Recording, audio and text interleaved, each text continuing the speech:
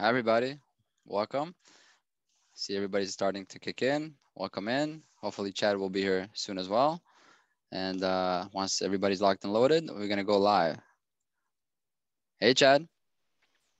Hey, Yoni. Hey, again, nice to see you. Nice job, bro. Hey, good to see you too. Nice. yeah, so people are kicking in, so we'll give them another moment. But uh, once we kind of settle, we're gonna start uh, running this live on Facebook. Okay, Cool. so let's get another moment. Where, where are you dialing in from? Teaneck, New Jersey. Okay, not so far from me. I'm in Nyack. You by the bridge. What's it called over there? That bridge, Thorough Neck? Uh, Tappan Zee Bridge. Tappan Zee, sorry, yeah. Nice. Now it's called the Cuomo Bridge. Really? They changed the name? Yeah, What's the name again? the Cuomo Bridge. Ah, Cuomo, this is the uh, the governor, but I think their father or grandfather used to be another yeah, governor, he right? named after his father. Yeah. Ah, so they're like the Kennedys of uh, the state of New York, right? So to speak. The new Kennedys. So yeah, to speak. something like that. Got it. Okay, people settle in. Let's start the live broadcast. Give us, give us a second. All right, let's set this up.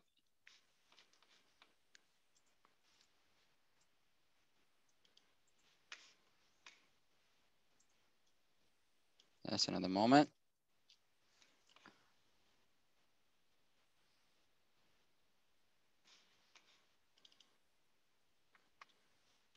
All right, almost there.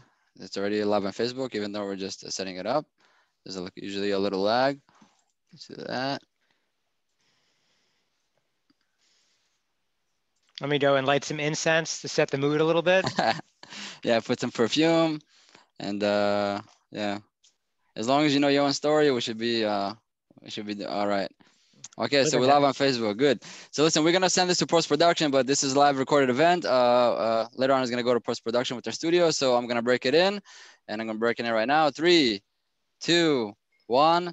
Welcome everybody to another episode of Prime Talk. Today, I'm really excited to have. Uh, uh, when I say special guest, this time I more than mean it. This is uh, let me just read you a little bit the credentials. We're having uh, Chad Rubin. He's the co-founder and CEO of Skubana, which is a cutting-edge e-commerce management platform.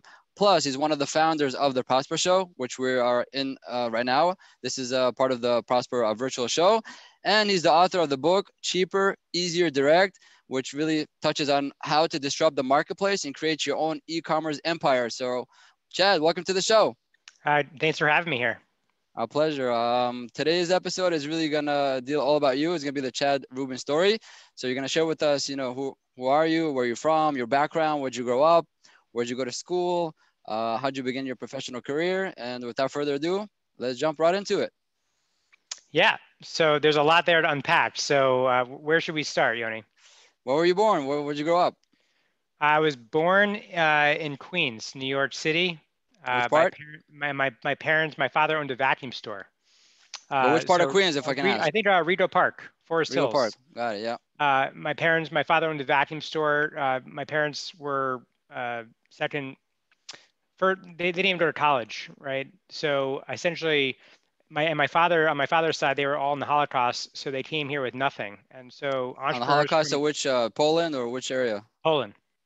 Got it. Wow. So, So what you know which year around which the, they came right after the war, or a few year, decades after? Uh, they came actually while the war was happening. So my Oh. father's mother uh, was sent on a ship here when she was seven and started working the factory floor in Canada, while the rest of her uh, siblings have now are now you know, been were deceased through the war.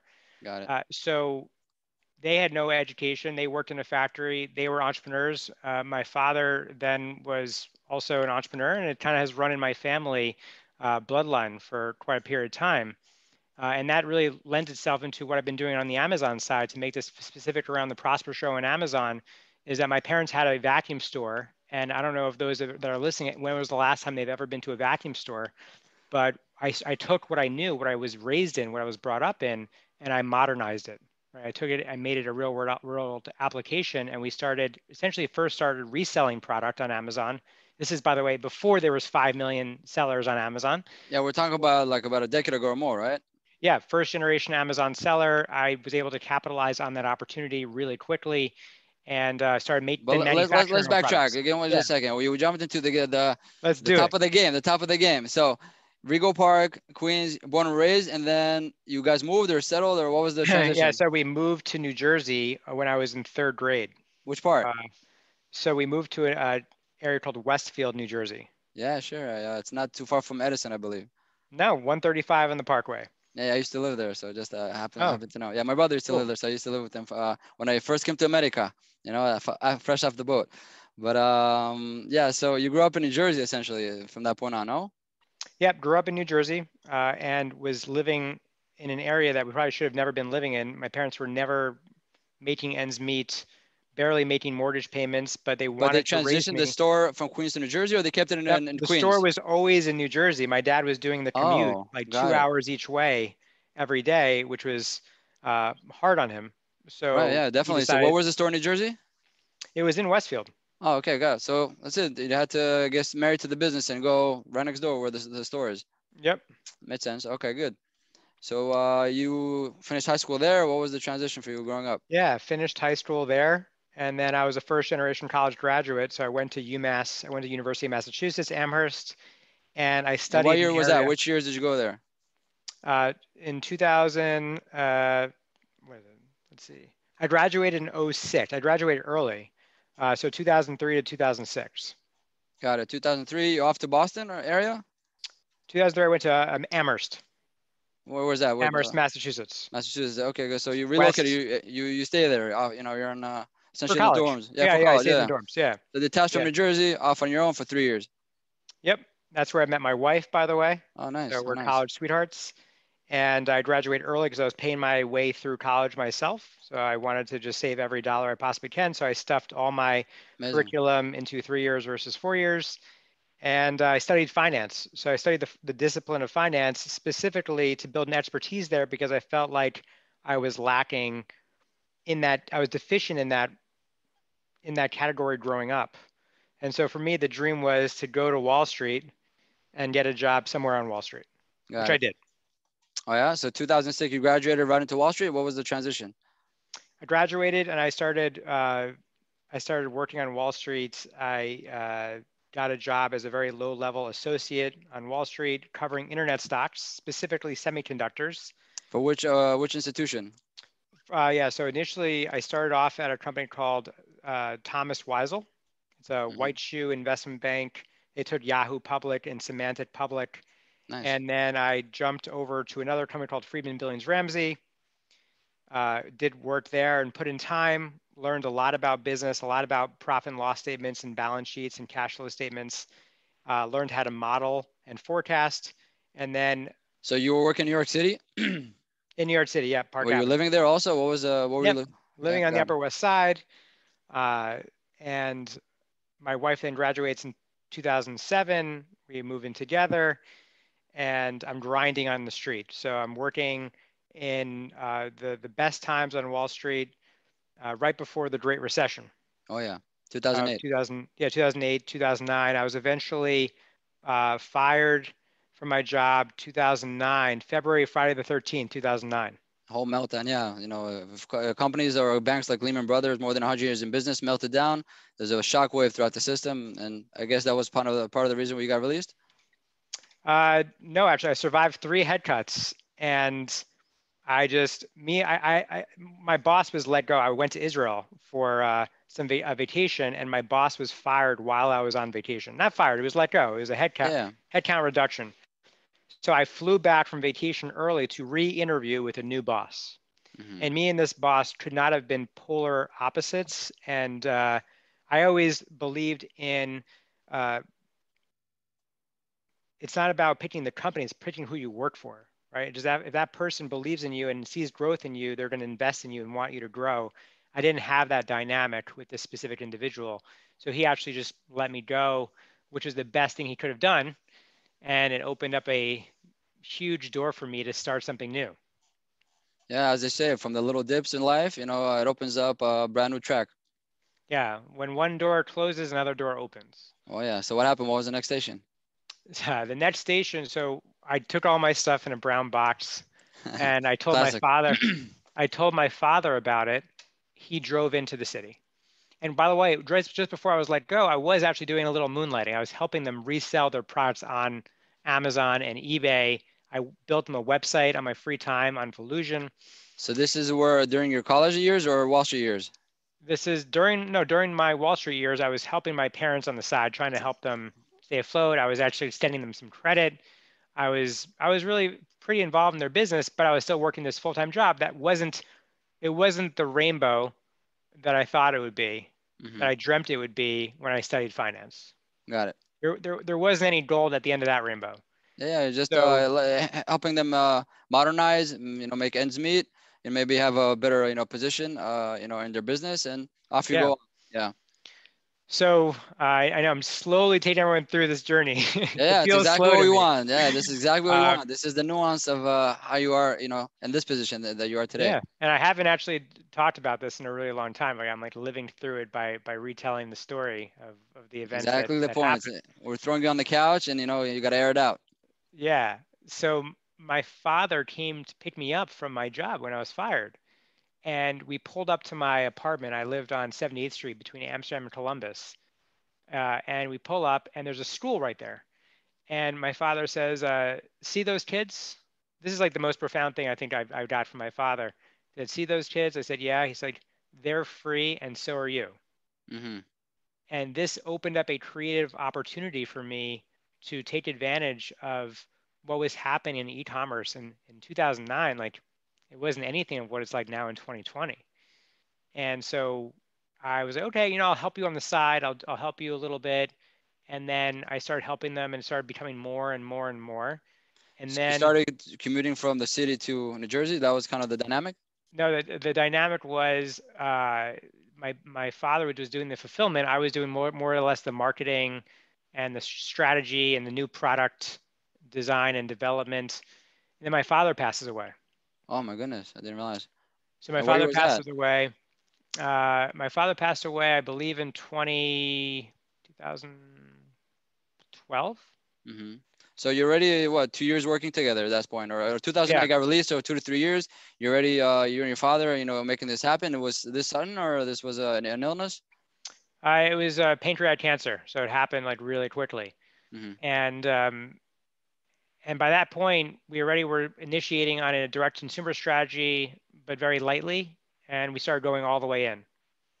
So we started manufacturing. At that point, I was only focused on vacuum products. Hold on. So for, for these three years, uh, you know, you're in e-commerce. Give us a little bit of the breakdown. Was just Amazon, just eBay, both, or your .com? What was the dynamic there? Well, when we first started, there was no FBA. Right. Uh, so we were FBM, we were on Volusion and eBay simultaneously. Volusion. If if somebody uh, from the audience uh, in the recording hears this, it's uh, I'm not sure how popular it is today, but back in the day, was to establish your uh, e-commerce store. It was like almost like a Shopify of the of the old days. Yeah, and they, they recently went bankrupt. So you know, Shopify really put a nail in their coffin uh, and just like, you know, scaled far quicker than, than Volusion could. Right. So, So, essentially, you have your dot .com, your eBay, your Amazon, three legs. Yes. So working on those three legs and uh, eBay was still very prominent at the time and Google, people were still doing product searches on Google and, and finding items on Google. And so we were multi-channel from the get-go. Like I've always set up the business to be multi-channel because I, I do believe picking a channel or just I think choosing between between channels doesn't you don't have to, right? You can be everywhere if you want Yeah, to. hundred percent. It's not a zero sum game. It's not like I pick Amazon, I'm not going to be on eBay. I was like, I just want to be everywhere people are on the journey. hundred percent. This is, by the way, the fiduciary duty for any retailer. Really, your mission is as a retailer is to move products from A to B. That B can be anywhere as long as you have a, a comfortable uh, ability to do so. You have to. If something is really, uh, it's going to cost you a billion dollars just to open up a market, maybe you got to reconsider. But today, with e-commerce, really no excuse. You can really be almost at every uh, e-commerce uh, platform.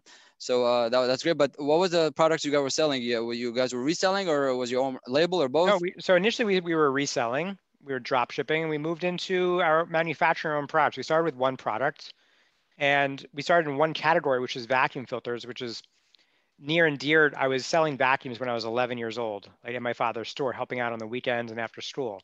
So I knew the vacuum industry really well. And we started there. And I also knew e-commerce really well because actually when I was on Wall Street, I was actually my last gig, I was covering internet stocks. So I was advising hedge funds and institutional investors to buy, sell, or short various stocks in the e-commerce universe. Wow, it's Internet interesting, universe. interesting angle. You have the nuance of a niche, right? Vacuum cleaners, but the high level, you know, Wall Street, uh, you know, bird's view on, on what's going on. And when you can do that, when you take a specialized expertise and something that you were raised with and combine it with something that you've now committed your career to and mold that together, I think that there's that's an opportunity to to to uh, to capitalize on. I call it you become lethal, but yeah. Lethal. It's a nice it's a nice opportunity. So so let's see. Uh, so we're 2012. You know, your father's passed, and uh, what was the next station there? The next station for me was moving into where we started really saturating the vacuum cleaner space. And I kept on looking over my shoulder. I'm like, oh, there's going to be some copycats. Like, there's going to be people that are going to be on my heels that are going to be taking, like, coming and competing. There's not really a barrier to entry here. There's no moat. There's no competitive advantage. Right. And I kept on looking over my shoulder. Nothing was there. And I was like, okay, let's move into the next space though. Let's move into the next product because like if Apple came out the iPhone and never iterated on the iPhone, Android would have surpassed it, uh, and there wouldn't be an iPhone today. So right. they had to keep moving. They had to keep generating the next new thing, product development, thinking about where the, the vision of the company is going. And we moved into coffee filters, which is the next dearest thing to my heart. Mm-hmm. Now, I, I actually recently quit caffeine, which is kind of insane to think about. But I, I was a very, my identity was wrapped up in coffee and third wave coffee. And I was like, how do I take what I know about filters and make coffee filters with that? And we started doing that. So we moved into coffee. And this is what year? Well, this was already 2012 or? Uh, this was uh, probably 2014, right? We, we saturated the market in the, in the in the vacuum space early with vacuum filters and bags. A lot of vacuums started going bagless, so we started making filters instead. Then we moved into hoses and rollers, and then we moved into coffee. And most now, of your revenue was uh, your own brand, or was it uh, like 50? All our own brand. We we stopped doing any reselling. Wow, so you completely detached reselling what around 2014 as well? Probably 2000, uh, 2000 completely detached 100%, probably 13 or 14. Yeah. Amazing. Great, great uh, evolution there. It's pretty impressive. Yeah, a great evolution and much needed, right? Because the res- I knew that there was going to be disruption as a reseller, right? The more points of of the train that, that happened, like Warby Parker had just occurred and Bonobos just had happened. Like everybody was cutting out the middleman and going direct. There was no need for a reseller in the picture. Yep. I think that once again, that's a bird's view eye that you uh, Street kind of gave you, where you see what uh, things are, the parts are moving, and you uh, take action before it's too late, or much before anybody else, and uh, you're always kind of a few steps out of the game. I, I wish. I mean, it's, again, it, it, looks rosy looking back on it. Now, there's a lot of pitfalls. There's a lot of troughs that had happened in this adventure, right? And so it's not always just glam and glitz. Like, oh yeah, it's when you hit a wall. Yeah, I, I hit so many walls in this process whether it's fulfillment walls, right? Figuring out fulfillment strategies, whether it's being suspended on Amazon, uh, whether it's getting sued because we were making uh, replacement products to fit manufacturers, vacuum cleaners, and coffee makers units. There's so much that went into it that you wouldn't anticipate when you're first coming up with an idea or just being like, hey, there's room for disruption here. There's a problem that needs to be solved. Let's attack it. Got it. Wow and all this to uh, you know uh, uh, until 2014 you experienced all that up to that point or i mean i was it, that that was consistent through my experience i think business in general is a combination of highs and lows and you just got to make sure you can hang on for the ride got it okay so what transpired in 2014 uh, what was the next session there we outsourced my warehouse uh, we initially had a warehouse in harlem we then moved to Little Ferry. Uh, hold on, hold on, what was it Harlem? Just uh, seems too random to be true. So what was? Well, well so I lived in I lived on the Upper West Side, and ah, so okay, first we were having boxes with a, a lift gate being dropped off in my apartment on the Upper West Side. my girlfriend at the time, who's now my wife, was like, "Hey, Chad, this is not going to happen here. You need to move this somewhere else." So I quickly found a storage unit with no windows on a second floor unit in Harlem, in East Harlem, 121st between 2nd and 3rd Avenue. Uh, that was an experience. Yeah, that's uh, you got a fulfillment center inside New York City. That's how it feels and looks like, you know. That's what it felt and looked like. I was hiring uh, high school laborers to come and do help and pick and pack in Harlem, and I even on my way to, to the office, I got I got mugged once. Oh my goodness! Uh, which is a interesting. So I had all these experiences I never had before. I had never managed employees before. I never managed a warehouse before. We were growing so quickly that essentially, when I first walked into that space, my father-in-law now, who was born on the day my father died, so fascinating. He kind of became a new a father to me and a mentor and a support wow. for me he was like, "Oh, this space is not so big." And I was like, "No, this space is huge." He's like, "He's like, don't worry, you'll you'll fit into it just fine." We fit into it just fine. We grew out of it. So we needed to move to New Jersey to another space in Little Ferry, New Jersey. How quickly did you grow out of it? Within like a couple of months, honestly. A few months. Look at that. All right, so from the Little Ferry across the river, across the Hudson, still not too far. Not, not too far. So I was doing the commute to Little Ferry, managing a team of say 20 warehouse people, doing pick and pack, and that Yourself. became. I mean, I was helping them, right? Like yeah. if they were, if they didn't show to work, if they were high coming to work, right? I needed to send them home.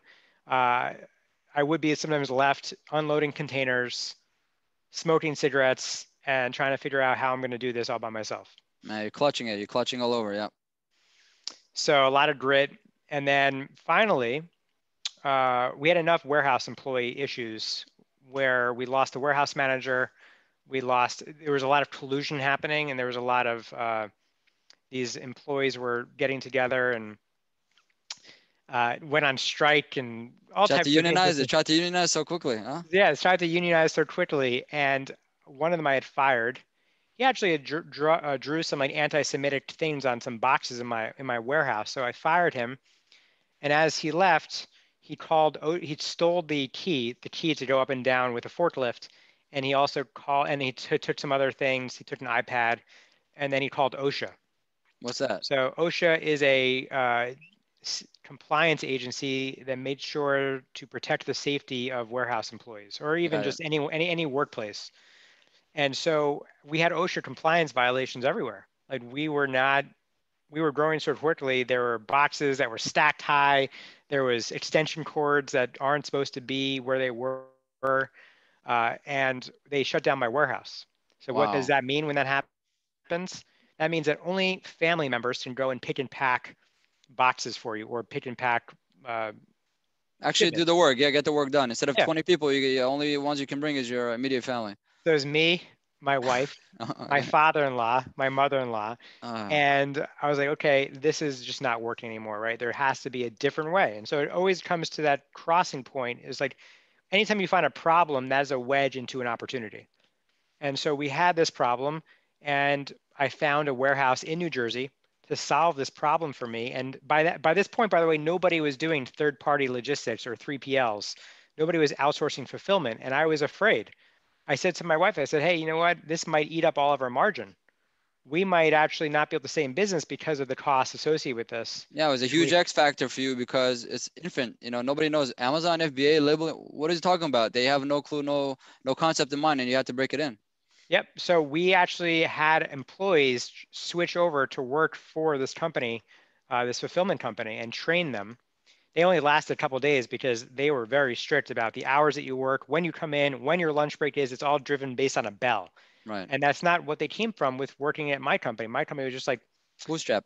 It was bootstrapped. You do what you want. There wasn't a lot of processes in place. Right. So we outsourced this weakness to the fulfillment center, and that opened up a world of possibilities and opportunity. That's great. So this is all in 2014, 2015. Uh, 2000. I think this happened in 2013. 2013, got it. Okay, uh, when you say open up a world of opportunities, what was what was those kind of stations? Well, yeah, well, we we decided to by getting rid of the warehouse fulfillment, I wasn't needed to go into a warehouse anymore to pick and pack. So what does that mean? I can now use my efforts on higher impact activities like marketing, new channel generation, new product development, all the things that I was really passionate about that uh, I wasn't able to achieve with a warehouse. Got only so one person right? So your focus changed from operation, just surviving, into growth. Let's do all the impactful things that you know generate tremendous growth and uh, and more and more opportunities. Uh, and you know, 2013 until when? When was the I guess the next station for you or the the uh, the next evolution? So actually, while did? this was happening, not only was I thinking about the warehouse piece and outsourcing that, but I was thinking about the software piece mm-hmm. and technology. I always knew technology is a competitive advantage. And so while this was happening, I was getting rid of this warehouse or having issues and outsourcing and thinking about the outsourcing of warehouses. I was thinking about how do I run this business in a way that connects to the warehouse where I can automate a lot of low value repetitive tasks. And uh, I was having a hard time finding a software that can handle my order volume because we were, we are doing very high order volumes. Uh, and how many units a month, for example? We were doing at the time roughly about 50,000, 60,000 orders a month. All right. And uh, how many SKUs and you had in your uh, catalog? At that time, I don't know the snapshot. I can just tell you now we have about 1500 roughly 1800 SKUs. Wow, that's yeah. a lot of variety. Got it. Yeah. So variety. it's crucial to have the right system in place for sure. And so we didn't have a system, right? And so I always thought that you need to have like there was all these like apps that you can kind of stitch together.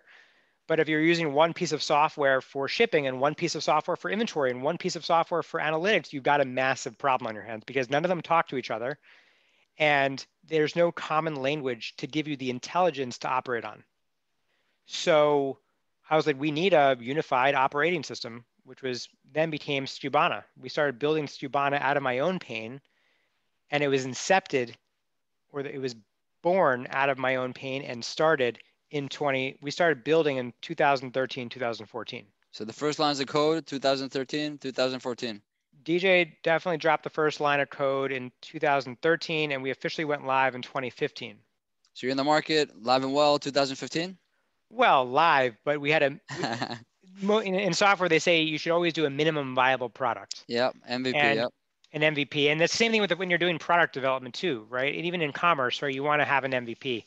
And I think that we did a massive viable product. There was scope creep that happened.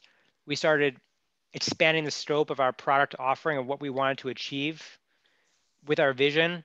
And uh, but yeah, so we had a massive viable product in 2015, but still needed a lot more love and massaging to become uh, what Skubana is today. Oh, for sure, for sure. Um, I mean, uh, the technology development it's a it's a it's a whole pin on its own. We can we can do this, discuss that all together.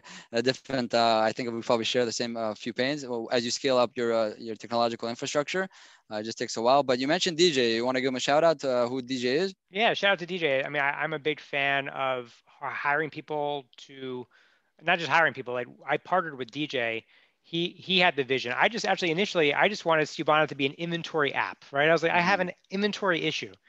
And DJ was like, no, no, no, no. You have more than an inventory issue, right? You have a a you need an operating system that puts it all together. And so it was DJ to to give him maximum amount of credit. And what's his full name? DJ what? Uh, DJ Kunovac. Kunovac, got it. To give him the full credit. He said you need to have order management and inventory together so you can actually properly automate, but also have the intelligence to run the business. You need to have a system. And without the order management piece, you don't have a system. You're just another app in the ecosystem. And that actually is a core tenant and a core competitive advantage that we have today. Amazing. And how did you and DJ come across? What was the evolution there? A friend of mine from college uh, introduced us. He was playing with t- tennis with DJ on the tennis court and mentioned I had this problem.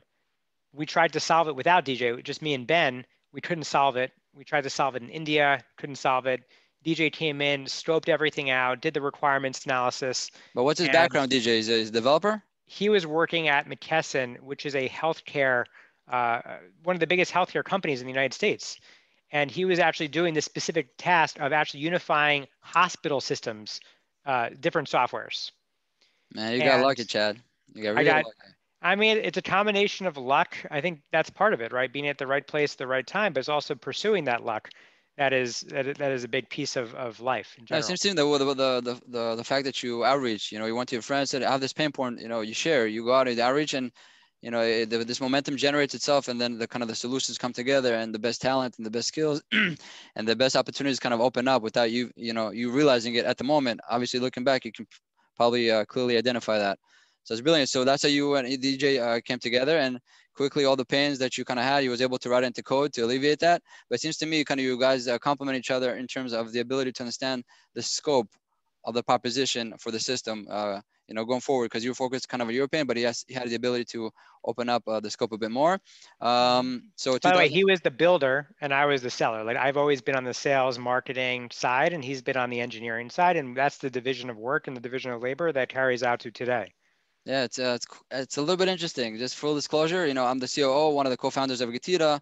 Uh, I at this point I find myself as, as kind of the face and you know putting the sales and marketing. Well, my co-founder Max, uh, Max Born, he's right now really hard on the you know tech side, on the development side, and and and making make sure that the production and the product itself is uh, you know superior and top of the line. So same dynamics uh, I kind of feel, and uh, I think it's an interesting combination that hopefully, I, I, think for us it makes us more lethal. I hope so. I hope so. Uh, you know, for Skubana to be the same. Oh yeah, for sure. So 2015, you guys launch and uh, take us uh, to next stations. What what else happened?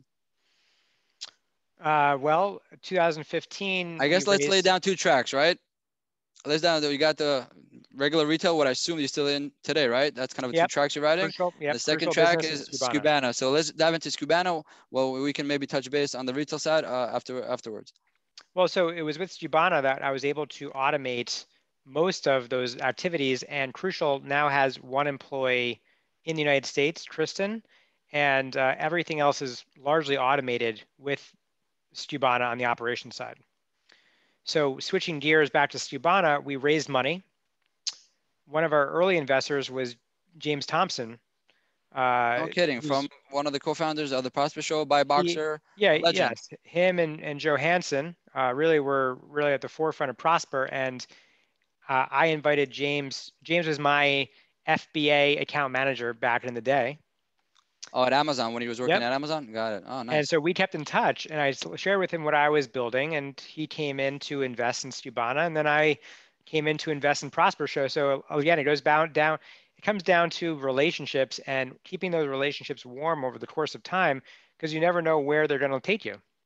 Absolutely. And and which year did you, you guys create the Prosper Show? Uh, 2000. I want to say was it 2016? I think so. Yeah think so. Uh, the first show was at Utah, then in Las Vegas, became a, really a sensational success. And then I think a year ago or so, uh, got bought out by Emerald, which is a public company, which uh, they host uh, a variety of trade shows. That's kind of uh, their um, their strength and yes. Uh, their their core competency. so everybody kind of, I guess, did an exit there. but once again, and, and another James track. is the is the brainchild. He's the mastermind behind Prosper Show. Like I, you know, I, again, I'm all about giving people credit where it's due, and it really was James' vision that was executed in such an eloquent manner. I, I don't know anybody else that could have done it in the time frame that he did it. And this is to remind everybody, these are people that are running, you know, multi-million dollars uh, organizations uh, for, for their own retail activities, like Chad. Plus, Chad had, uh, you know, Skubana and uh, James Thompson, once again, ex-Amazon employee, but created a massive agency, uh, to, you know, uh, cutting edge, top of the line. But he says, what else can be done, and what, especially what else could be done for this community or for this industry? That's how they conceived the, the trade show of, of Prosper. And I did, I do believe, truly believe that, you know, for thousands of sellers that came over through the years, they're able to do better business because of the structure, this body. Uh, and once again, so it takes that vision and that will and that thrust, uh, you know, so even though you're successful, you know, running, running big organizations, what else can be done? That's that entrepreneurial bug, but also um, creating uh, value for others, which is uh, uh, uh something to uh, to admire and uh, pay attention to. Okay, so um, you're also part of Prosper, but you said James and and um, Joe. It was really James, I think. Joe is a big part of BuyBox Experts. They merged companies, and so Prosper was happening. I wrote a book Amazon was now on the essentially it was a gold rush into Amazon at the time, right? So timing was also really impeccable. Uh, Skubana obviously has a lot of Amazon centricity built into the platform, even though we are uh, agnostic. Yeah, we're D2C. We initially started off supporting just a lot of Amazon merchants, and we've shifted from just supporting Amazon merchants to supporting brands that embrace Amazon as a channel, not just a business so important. Uh, it's easy to get uh, trapped in saying, "Hey, this is such a, you know, such a, a fueling environment, the Amazon ecosystem, which it which it truly is." Um, but if somebody is an entrepreneur out there in the e-commerce space game, it's probably uh, best to be advised that really uh, your chances of survival long term is if you really build a, a, viable brand for yourself, and that brand is pretty much everywhere in e-commerce. And of course, if you can uh, uh, create arms and legs in brick and mortar, even though today is more challenging than ever before, it's never a bad thing. You never know, you know, where you're gonna get to. And once again, the the fiduciary duty of uh, you know anybody in trade who's trying to s- sell products from A to B, you know, reach reach as many markets as you can. Um, and and the way to do it best is when you have a brand. When instantly you get recognized, you get preferred. You have a moat, a business moat between you know brand A and brand B. And this is kind of what Skubana, I believe, is trying to facilitate on a very very you know large scale for uh, you know DTC brands. DTC brands will recognize this opportunity. Yeah, and I do I want to say that we've migrated from just talking about D2C, direct consumer selling, to actually direct to everywhere. So it's not just D2C anymore. What you're seeing is a lot of these digitally native brands that initially were created and grew up just selling direct consumer with a Shopify site are now selling wholesale. There you go. They're selling brick and mortar. They have a pop-up shop. Uh, there's so many different avenues that they're starting to embrace right now, and that's really the the landscape that Skubana plays in pretty heavily. So you guys actually laid the tracks for wholesale as well, and then on the Yeah. platform. Yep. So, so we have an just like Shopify, we have an app store, and you can click a button and you can integrate to all your EDI providers. Uh, we have four that we support on the platform. You can do everything through the app store. It just allows you to add strength to our platform with a click of a button. That's great. I was not aware. There you go, you guys. Once again, that vision. Once again, goes back to the core fiduciary duty of a, retailer or, somebody in trade. Reach everywhere as much as possible. E-commerce space is a great place to start, especially the Amazon. But once again, once you become a brand, a really viable brand, you have a business mode. Then brick and mortar is definitely a viable opportunity. It's still, at least in in uh, the United States, 85% of the trade. So uh, obviously, there's opportunity there. If you guys facilitate that, that's that's a blessed thing. Okay, so uh, touch, uh, talk to us about, uh, I guess, challenges with uh, Skubana. And over the years, you guys are ready for five, six years. What are the, you know, what was the scale? You started you and uh, DJ, and where are you guys today in terms of uh, where are you guys located? You know, how many people on the team? You know, So scale, we're 30, s- 30, scale 30 we're about 33, 34 people. We uh, ha- are now officially remote, not just because of COVID, but we're actually going to be remote forward uh, with like hot seats available once people are more comfortable going back into the office. So the office is where New York City, The office is in, was in New York City. We closed it. Uh, West was New on- York City, and New Jersey. uh, it was in New York City, 18th between 5th and 6th. Yeah, yeah, because a town called West New York uh, in New Jersey, uh, across the river. I don't know if you know that. Uh, Oh yeah, I, I do share. know West New York. No, it's in actually in the Flatiron district. That's where it was, and now we're fully remote. I mean, we had everybody in New York City. Now there's 10 people left from what I've counted in the metropolitan area. You got it. Oh, so everybody really spread out physically where, where they people live now. People moved, people left, people fled, people are living back with their family. They're they're they're running their their life in a very different way uh, during COVID right now. Got it. But yeah, I'm, I, I, probably bet that even though this all happened on a physical scale, uh, on the business scale, I think you guys probably uh, saw a great push. It's, you know, customers, more and more customers coming your way because that urge and need to be in e-commerce or at least scale that up. Well, there's been billions of dollars that have been shifted from offline retail to online retail, and Skubana was started as a direct consumer platform. And uh, on top of that, just to add a little flavor of Amazon into it, as FBA has been putting restrictions on a lot of brands and merchants, especially during COVID and even right now during the fourth quarter, they needed a new strategy and they needed Skubana to help them execute on their fulfilled by merchant strategy. And we allow them to get that set up in no time. What to the sellers or to Amazon or both? Well, they can connect to Amazon in, real quick, and then they can also connect to their warehouses or create their own warehouse in Skubana and literally run uh, a technology like Skubana for a fraction of the cost of like an enterprise software that'll give you the same kind of experience like Amazon hitting Amazon shipping benchmarks without like paying through the nose for it. And what about SFP? You guys uh, were able to Yeah, of uh, course. facilitate Support SFP, for your uh, for your leading uh, client. Of course, we support SFP, uh, merchant uh, multi-channel fulfillment, which is shipping from Amazon FBA off channel to your customer. Great. both FBM, FBA, and drop shipping and 3PL integrations, all of that simultaneously, all in one platform, all in the cloud, which was Yeah. unheard of back in the day. Yeah, this is a lifesaver. You know, if uh, yeah, if you, if you had the clients uh, have this opportunity, ability to get all these great components, SFP, which is a self-fulfilled prime, uh, you really have to have the matrix. You know, it's really rigid. If you guys facilitate that, that it's great. Um, from Amazon to uh, uh, other marketplaces, let's say you sold on your website or on eBay, and Amazon ships it out, you guys facilitate that, help with all the tracking and and the revenue, and I would assume also the profit and loss and, and reporting. Yeah. Yep. That's, that's great. And so t- 2020, you find yourself, although with all the physical challenges of COVID, uh, at a growth momentum. Fair to say. We, we, yeah, we've been a beneficiary of COVID. It's really painful to, to say that because of the circumstance and the backdrop of what's happening in the country. Right. But we've definitely benefited because of the shift uh, in our space. Got it. Okay. Very good. And uh, how about the retail end? Uh, you know, more consumers were buying uh, coffee filters and uh, you know uh, vacuum cleaning filters. Are you still in the vacuum yeah, uh, I mean, business? people or? are people. Yeah, we're still in that business, still in the entire home appliance parts business. And again, due to COVID, actually, a funny thing. So we started noticing a lot of people were buying our HEPA bags, and I had no idea what why. type of bag? Sorry for my. A HEPA uh, bag is a high efficiency particulate arrest vacuum bag that uh, essentially is made of the same stuff that KN95 masks are made of for face coverings. Oh, nice. Yeah. And we started noticing people were buying these bags, and I had no idea why. So I'm taking a shower one But day. when did you see the uptick? Well, um, January, Uh, Mar- uh, February. It was it, no, it was March. It was like mid March, March 18th or something. I had this epiphany in the shower. Uh, that's you know that's most most epiphanies right happen in the shower. yeah, do you sing so- though? Do you sing or no? What I just sing. Yes. I'm not a singer in the shower. I just sit Okay. there and I like brush my teeth aimlessly, and I get into like this like zone that I can't get out of, and I'm like, my mind is spinning, and I'm like, oh my gosh, wait a minute. Our vacuum bags are the same thing that's made out of KN95 masks, and there's a shortage in Rockland County, which is where I live, in the hospitals where they need PPE protection. This is before everyone got on the PPP wave, Wow. Okay. PPE wave.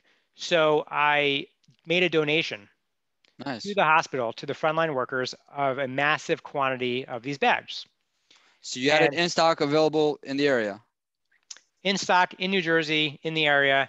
Made a donation. Nice of you. Super thankful. Like the head of the head of director of the hospital had reached out, but on top of that, it actually hit the news. Oh. So somebody that was super early on in this PPE making mask, they changed their entire factory from making aprons to making masks. The company's called Hedley and Bennett. We formed a partnership where they make the mask and we sell the filter media that goes in the mask because they have a pocket for the media. And uh, it was a win-win for both companies. So, essentially, you became a supplier to them. they were guiding people to go to our website. Now, if I was never off of Amazon or if I was never multi-channel or didn't hadn't hadn't invested and had the foresight of investing into our own brand, into our own website, this would have never come about, right? In fact, it would have never come about if I hadn't made a donation. right? So hold on, let me get the believer in deep context. So you did a donation, that opened up uh, t- media attention, and then the opportunity presented itself because of that media attention. Well, it was a combination of media attention. An employee at Skubana saw what was happening. We had somehow had conversations with Hedley and Bennett in the past at Skubana. We did a dinner together. And then one thing led to another. We formed a joint venture partnership. Beautiful, brilliant, uh, unbelievable. We've, uh, I mean, it's been a fruitful relationship. And uh, we are now, we're now in our third wave. We used to just sell the vacuum bags and people were cutting it themselves Mhm. and people didn't want to cut themselves. They wanted it to be pre-cut. So then we hired a factory in the United States to make some to do some cutting for us. Now we're officially making a whole phase three design of the product, which is the packaging and everything pre pre-made and enclosed uh, for our, our customer base. Got it. And how do you find yourself managing, I guess, at this point, all these uh, activities? I mean, how's your day look like? Yeah, share with, us a little bit. And I know, uh, congratulations, you had a, you know, uh, you know, a baby born recently. So congratulations for that. 15 month, 15, 15 year old, uh, 15 month, 15 year old, I wish, 15 month old. um, and that has been a shift in priorities for me and a shift in identity because I always was ad- identifying being an entrepreneur for me was like that was it, right? My group of friends are entrepreneurs and everything revolved around that. And now I'm, I've shifted into being a father. So, uh, so how do you balance all that, right? yeah, so routine. I think it comes down to literally habits and routine. hmm And I don't go on, I used to go on Instagram a little more. I found myself not feeling good about Instagram or Facebook. I watch Social Social Dilemma, uh, and so I'm in a routine. Right, I wake up early. I spend that time with my my son. We have breakfast together every morning. Right. Uh, we play, we walk, we crawl, we climb, we read, and then I get into my day. Uh, and I go straight through back to back, and I try to be as efficient with my time as possible, and making sure that I say no uh, to as to as many activities that aren't going to be high impact to any of the things that I'm pursuing. Got it. So I'll take it as a compliment. Thank you for, uh, I guess, uh, taking the time today to do Uh, this. well, I'm, I'm uh, very grateful for you having me on. So sure, our pleasure. It's a real privilege. Okay, so so I think I take it as a big lesson. So how do you identify the things that is going to be less impactful? You can say no, thank you, or let's do this later on, and then you prioritize. And you have a team that helps you with that, or is it just you you pop into your emails and right away you know what to say no to? What's the Uh, dynamics there? So we have some canned responses in email for no, uh, and then I- I take a look at my calendar to see like what's happening on the weekly basis to see where can I optimize my time. Uh, there's things that I love doing.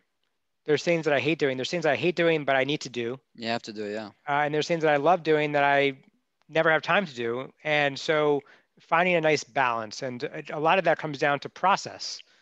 And speaking up, right, being candid with the team, saying like, hey, like, I don't need to maybe go on like 20 million webinars this quarter. Let's pick and choose the webinars that are going to be the most high impact for the company and prioritize those. So establishing criteria around that. And by the way, it's criteria around my entire life, right? And so what are things that I should be doing that I'm not doing? What are the things that I'm doing that I hate doing? And being able to categorize and classify those items in a way that's meaningful and supports uh, and honors where I want to be in life. Got it. And you think you do you did you try to trickle this into your organizations, or is this something you take on your own, and you know you don't try to impose uh, on any other? What's kind of the dynamics there inside the organization? Because yeah, they're all I, remote, but you have to somehow distill that. Yeah, I mean, I, you've got Gina joining. I see her. Uh, I see her here, and with Gina, I'm, I'm. She's so talented on the marketing team that uh, I'm always thinking like, how can we leverage her more? Right? And mm-hmm. what are the things that she's doing that's eating up her time that we could be using and going like spearfishing, finding somebody that does that task, does it really well, and could alleviate you so you can make the biggest impact on the company. And uh, we're doing that cross department, right? So I think this is cross pollinating. I think this goes back to actually when you're building a company, it's a largely a reflection of who you are uh, the systems that you have in place and the people that you have in place and who you're hiring uh, and, and, and firing and who you're bringing into the family is a large part of of the success of the of, in the DNA of the company itself. Hundred percent. And how how is DJ fit into all everything right now? Where is he located at this point? Well, DJ actually, so he's moved from New York to Georgia. That's nice. where where's he, he originally was, from? That's where he's so, from. Yeah, Georgia. Uh, where about? Where about? I I believe he, he's living in Atlanta now. Got it and he actually is just coming off of a three week i think it was a three week maybe it was longer. He took a uh, he's always had a bucket list item to go cross country. So he went roof camping with his car cross country uh, and is now actually just arrived back into atlanta last night. Nice. Did he happen to go to emory or no? Uh, he didn't go to emory no he went i think he went to a state school in georgia. Got it and he, grew up in atlanta also or some somewhere in that grew area? up in atlanta yeah but he's originally uh, Croatian. Oh, got it. So he was born and raised in Croatia? He was definitely born and raised there, and then he moved over to the United States, I think, in his early teens. Got it, got it. All right, so yeah, I connected what you said with. Uh, I guess the organization is a reflect, you know, reflection of you. Hopefully, the positive things of you. You take the best thing that you have to offer, the best values, you know, and work on the ones that you can do some Wait, work. I, I do want to say, just to add, right, a yeah. comment to that is like it also has the worst things too, right? And it's it's important and that's why if you're hiring the right people at the company they can you want to hire somebody that you admire that can elevate and raise the game of your current team or department or company. And i think that so so it's not a reflection of all your all your uh, fallacies or your flaws.